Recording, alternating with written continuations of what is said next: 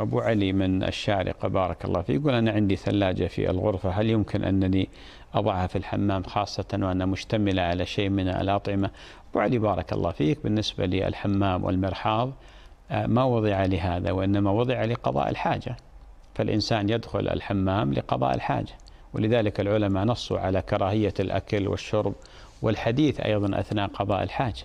ولهذا يعني النفس آه، الوازع الطبعي المطبوع والمغروس والتي جبلت عليه النفوس يرفض أن يأكل الإنسان في الحمام أو أن يضع شيء من الأطعمة في الحمام حتى لو كان يعني ثلاج. أنا لا أتحدث لك الآن عن كونه حلال أو حرام. أتحدث لك عن شيء تنفر منه الطباع السليمة.